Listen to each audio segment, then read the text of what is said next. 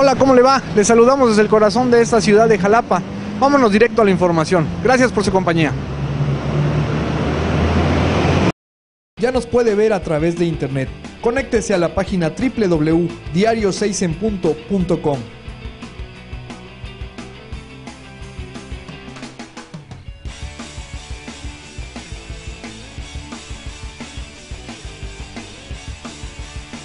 Asimismo, le comentaremos que esta mañana, la mañana de este jueves, se llevó a cabo un nuevo curso de actualización en la práctica docente para todos aquellos alumnos de los últimos semestres, séptimo y octavo, de la Escuela Normal Particular Carlos Acarrillo. Mira, esta es una actividad económica que se da en el marco de la Academia Interinstitucional de Asesores del séptimo y octavo semestre y tiene que ver con un taller para abordar los temas relacionados con la práctica intensiva.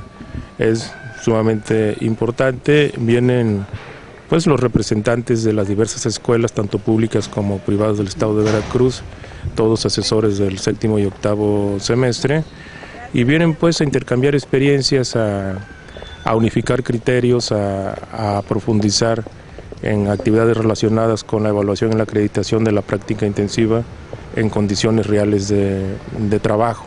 En otra información les vamos a comentar que los que se van a poner locos de contentos son nuestros amigos empleados de base del ayuntamiento local, toda vez que el día de mañana van a cobrar 50 días de aguinaldo. Esto gracias a las gestiones que ha hecho el sindicato que encabeza Rolando Ortega Salazar, a quien entrevistamos hace unos momentos.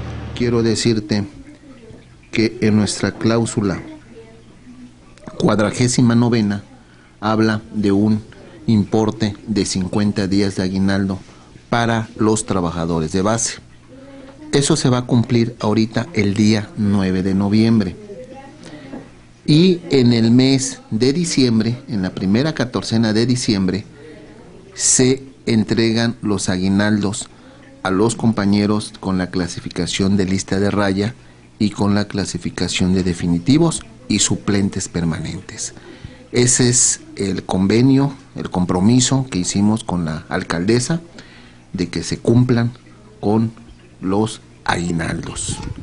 A mis amigos medios de comunicación, quiero hacerles a los compañeros agremiados, mis representados, de que en tiempo y forma se les va a pagar su respectivo aguinaldo. Eh, trabajadores de base estamos hablando de 870 trabajadores, ahorita el próximo viernes 9 de noviembre. En la primera catorcena estamos hablando de un total, de un total de trabajadores de 1.500 trabajadores, lista de raya y personal definitivos.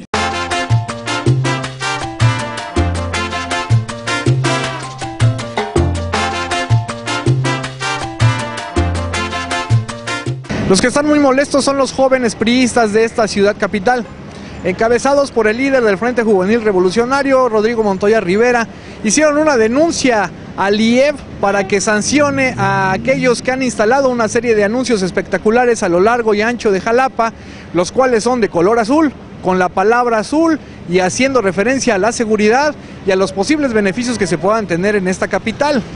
Montoya Rivera fue más lejos y señaló directamente al actual delegado de la Sol, Abel Cuevas Melo, de ser el responsable de la instalación de estos anuncios espectaculares. Escuchémoslo sobre la aparición de diferentes anuncios espectaculares en la ciudad de Jalapa, con la leyenda azul es un cambio, azul esperanza, elige un cambio, una A, un 2013, las fotos del ayuntamiento de Jalapa. Y bueno, este, evidentemente ante los ojos de la población, ante los ojos de la ciudadanía y ante los ojos de las autoridades, son actos anticipados de campaña.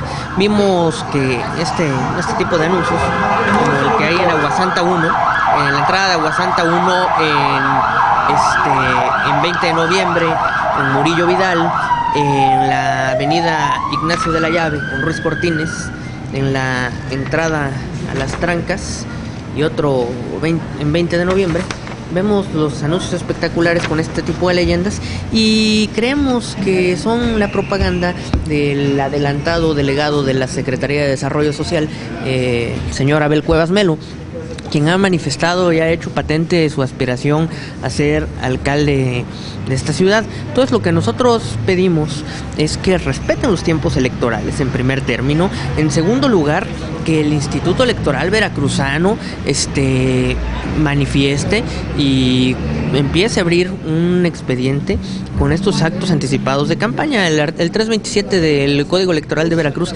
señala posibles sanciones a los aspirantes adelantados. Una vez más le agradecemos muchísimo el favor de su atención. Nos vemos la próxima. Lea su diario vespertino 6 en punto noticias y su semanario político Grillo Jarocho, porque alguien tiene que decir la verdad.